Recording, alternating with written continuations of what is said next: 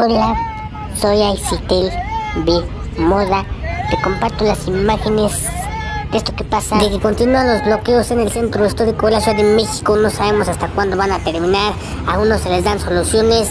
Y es que amigos, el gobierno de la Ciudad de México ha estado llevando a cabo, ha estado emprendiendo todo un operativo para retirar, para desalojar, para quitar amigos para barrer las calles de ambulantes, amigos. No quieren ver ambulantes, no quieren ver comerciantes de los que andan en la calle, amigos. Entonces, pues ya, ya los ambulantes comenzaron a protestar, están cerrando las calles, le están quitando sus lugares, le están quitando sus puestos de trabajo, amigos. Aquí podemos ver, pues que varias calles aledañas al centro histórico de la Ciudad de México, especialmente, pues, son las más afectadas debido al alto comercio, debido a los altos índices de comercio que se encuentran en el centro histórico de la Ciudad de México. Son muchos, son cientos, son miles de vendedores ambulantes a tal grado de que esto pues ha llegado a ponerse tenso. Aquí podemos ver imágenes de lo que pasó en lo que es la Torre Latinoamericana en el eje central también en donde está ubicado el Palacio de Bellas Artes, pues hay, hay disputas, hay peleas, hay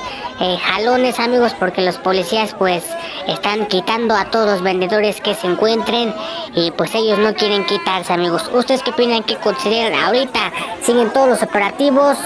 Los operativos no sabemos hasta cuándo van a continuar. Aquí podemos ver que también hay bloqueo en el eje central.